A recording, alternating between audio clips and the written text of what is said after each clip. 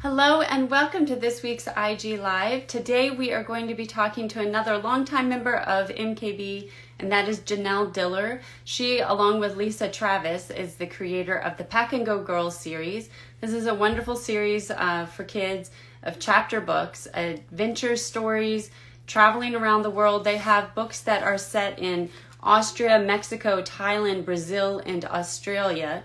And these are all fiction books, although they also have nonfiction companion books that go along with them.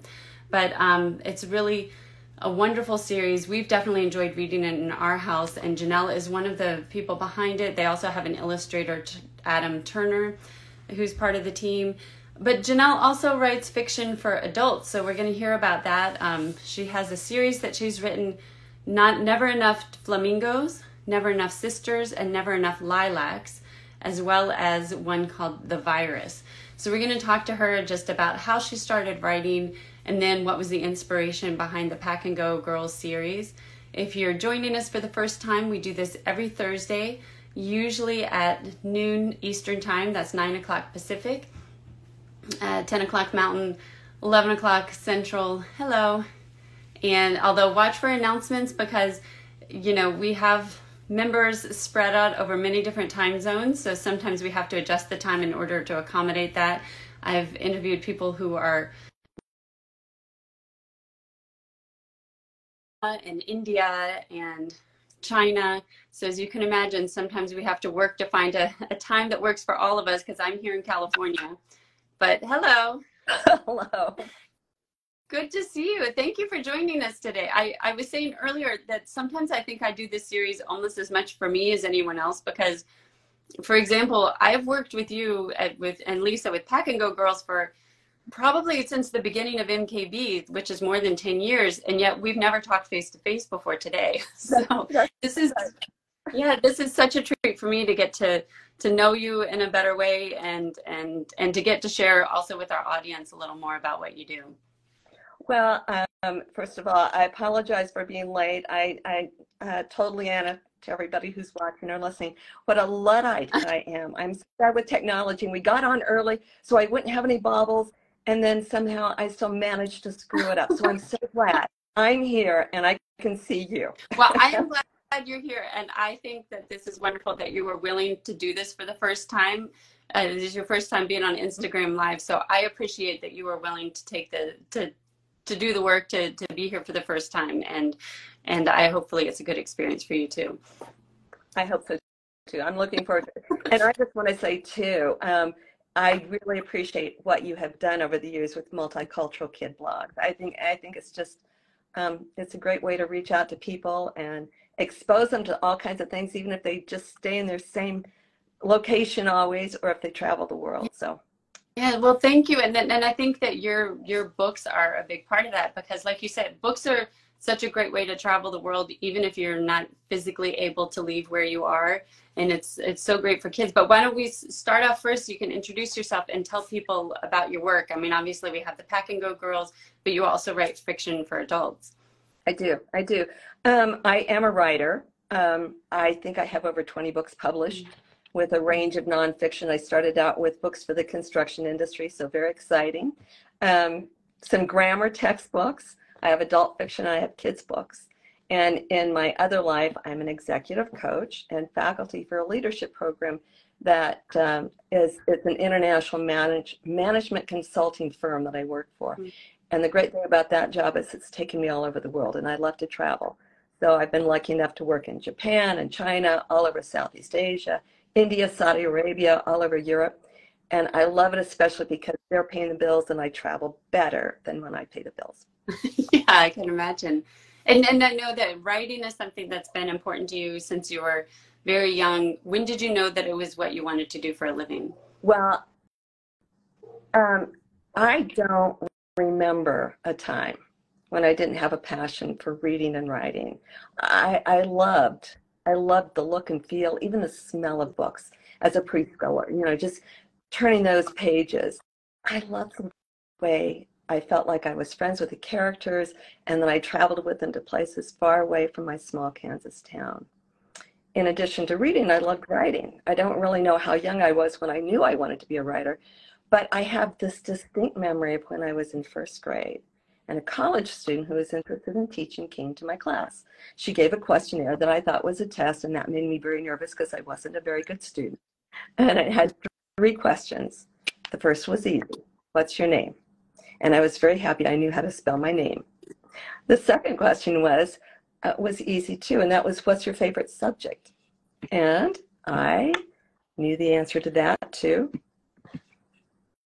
Um, and you can probably assume that it was reading or writing, but no, as much as I love those subjects, um, I didn't love them nearly as much as when I put recess. Oh, that's such a great kid answer. Yeah, even now it's my favorite thing. I've structured my entire life about how I can play more. so the last question was tricky. It was, What do you want to be when you grow up? And I knew the answer to this one too already as a first grader, I knew I wanted to be an author. Mm. I wanted to tell stories and write books. I wanted to create characters that readers would be friends with. And I wanted to take readers to places that they had never gone. I wanted to book. But instead, I wrote that I wanted to be a teacher. Mm. You know, I, I should have written an author, but way back then I thought only girls from big cities could be authors. I thought only people who were already important could be writers. Um, fortunately, I didn't let those ideas stop me, and I wrote and I wrote and I wrote. And as I said, I've got over 20 books published. You know, I, Leanna, I like to tell this story when I do author visits at schools because I want kids to never let the funny ideas in their heads stop them from being someone amazing. If mm. they want to do it, they should work hard and make, make it happen. And I'm glad I didn't let what was in my head stop me from following what was in my heart. I love that story because I think that that's uh, that a lot of kids have that mm-hmm. that kind of thought either that they they think that somebody like them can't do it or that nobody they know has done it before and so they they might let that hold them back or sometimes the adults in their lives kind of put that on them that that they think is not going to happen. So I love that story. And now of course you're a published author with more than 20 books, including, uh, as we mentioned, as uh, fiction for grown-ups. And one thing that I noticed is that your your books often take on these really big social issues. Just to mention a few of them, like the Me Too movement or how to confront evil. Why is fiction such a great way to dig into these issues? I think this is a great question. And for a bit of background on my writing, my first novel for adults was The Virus, a political thriller that came out in 2015. And I'm very proud because it was a Colorado Humanities for the Book finalist. Um, and it's about a pandemic that sweeps the country. And everyone is clamoring for a vaccine, and the government scrambles to create one. I don't know if this sounds familiar to anyone. Um, unfortunately, it turns out that the vaccine isn't what they think it is the last sentence of the back cover description that I wrote way back in 2015 is this The technology is real. Washington is corrupt. It's only a matter of time before this isn't just an intriguing idea for a political thriller. And then we hit 2020.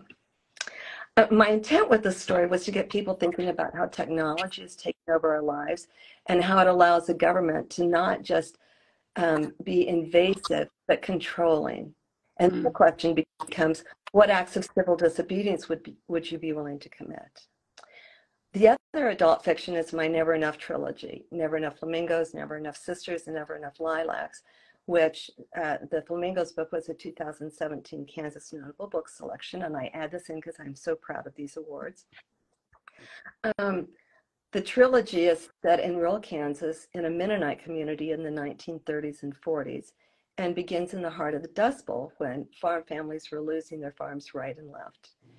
In this small Mennonite community, Simon Yoder, a very wealthy church member, steps in and generously saves many of the farmers with loans. To pay him off, the farmers hire out their daughters to work off the loans.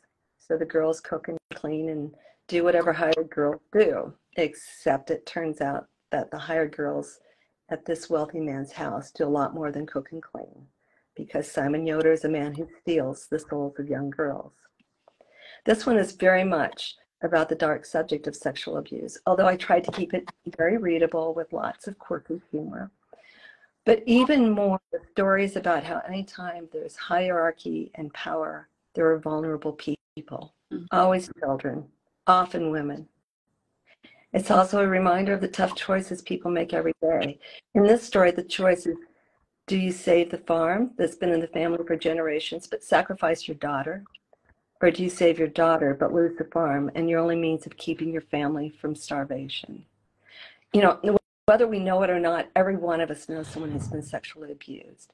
But even today, it's very difficult, if not taboo, to talk about it. When when um, Flamingos came out, I have a really good friend who told me that she loved the book, but she was sorry I'd written about written it about Mennonites because she said that wasn't her experience. And then a couple of months later, she confessed to me that what she said wasn't true. And she told me that when her own mother was on her deathbed at 92, she finally told the story of being repeatedly raped by her stepfather. Mm. Everyone in the family knew, but no one could or would do anything because if they confronted him, it meant they would have no place to live, nothing to eat, nowhere to go. Mm. You know, my book got my friend to talk about it openly for the first time, and that's why fiction is such a powerful way to shine a light on the darkness. Reading about something gives us a safe place to learn about something for the first time or discover we're not alone in our experiences. It gives us a vocabulary for talking about issues and events that we don't know how to talk about. It teaches us. Yeah. Yeah, which is important, like you said, for for adults and for children. Um, I think maybe because it kind of resonates on an emotional level, like you said, it's that safe space to kind of experience and and and um, learn about something that maybe isn't your experience or see your own experience in a new way which kind of segues into your your work for children because as, as while it doesn't take on as maybe as heavy issues as your adult fiction does it still is a way for for kids to explore new places new ideas new situations that maybe they haven't been in but then kind of see what is familiar to them as well. So of course i'm talking about the pack and go girls series. Um, so can you tell us more about that? That's something that you started with uh, with lisa travis. What was the inspiration behind starting it? And maybe a little bit about the series for those who haven't read it before. Yeah just um, just a bit of background. Um, it's a nationally award-winning travel and adventure series for young girls we've targeted first through third graders uh, readers tour haunted castles in Austria. They catch thieves in Mexico. They save dolphins and turtles in Brazil. And they search for lost golden temples in Thailand and chase aliens in Australia. So we take them all over the world. And they always meet a girl their own age and solve mysteries together. They're a ton of fun. Um, Plus, we've tried to introduce a spectrum of American characters that reflect American diversity. So we have a Chinese American girl, a black girl, a Cuban American, and a Native American descent. And this has been really important to us too, because we want kids to see themselves on the pages of these books. When I when I wrote the Australia series, which has the Chinese American girl in it, one of my reviewers for the Australian series, which included the Chinese American girl, said, I would have loved to have had a book like this mm-hmm. with a girl who looked like me. That thought would have never occurred to me as I read my own early chapter books decades ago. And what a loss for both of us. You know, several years ago, Lisa Travis, my business partner, ran across a study that said that 90% of the characters in kids' books were white. Only 10% of books had multicultural characters. You had a better chance of having a main character as a truck than you did as a Hispanic kid.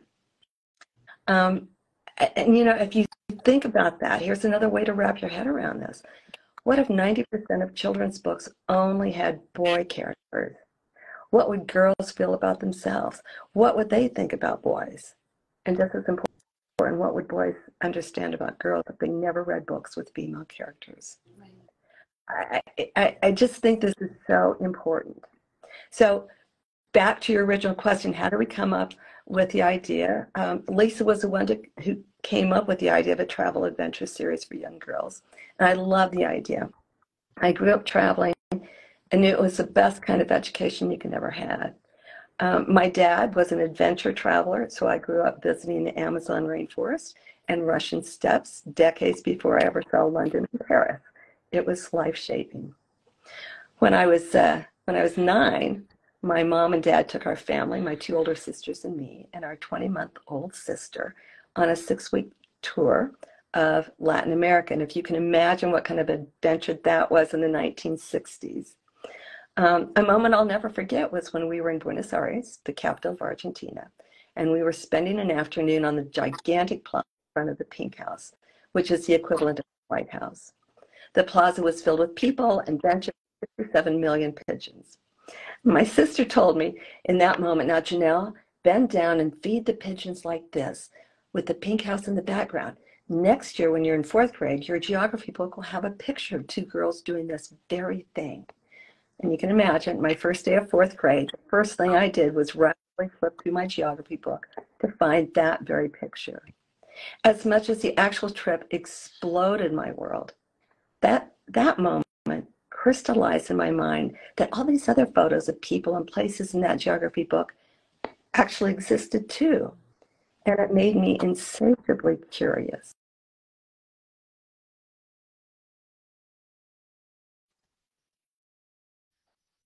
And spot crocodiles or walk the ancient steps of Machu Picchu, but you can read stories about other places and experiences. And, and it gives them new things just simply by picking up a book. You know, I, am reminded of Anne Quindlen's famous quote Books are the plane and the train and the road. They are the destination and the journey. They are home. And if we can give that to kids, there's no greater gift. I love that quote. I had I hadn't heard that before. That's wonderful. And, and and I have to say something that I really appreciated about your books I mean, one, like you said, kids, it really introduces kids to the world and they can see themselves and not just mm, um, the diversity is not just in where they go, as you mentioned, it's also in the main characters themselves, as you say, representing the diversity of America. Um, but one of the things that I thought is so interesting about it is it really models for kids how to respectively uh, learn about other countries because, as you know, the US and Europe, we have a reputation of traveling, but not necessarily being very respectful in how we do it. So I think that is such a key element to what you do in the book and that they make a local friend and, you know, they have this really um, kind of authentic, respectful uh, understanding of the culture. Why was that so important to you? Well, first of all, thank you for your kind words because this has been critical to us from the very beginning. And it's been a challenge because we don't want to be simplistic or to stereotype either the American girls or their international cultures. Yet at the end of the day, we are writing for six to 10 year olds, so we don't want to be too intense either. I mean, you mentioned it further. We can't do those heavy topics. And yet with with each series, we do try and address some things that are more significant in a way that we believe young kids can manage. Um, so, first of all, we do our research. We do tons of research. And then we also always have people from that country review it and critique it for anything that might not be accurate or otherwise be offensive. And it helps that we've traveled to most of the countries in our series.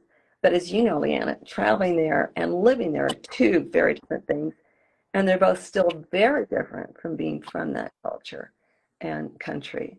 So, you know, we we pay a lot of attention to that um, because one of the things we don't want to do is turn uh, turn um, our readers into thinking, oh, they're so smart or so whatever.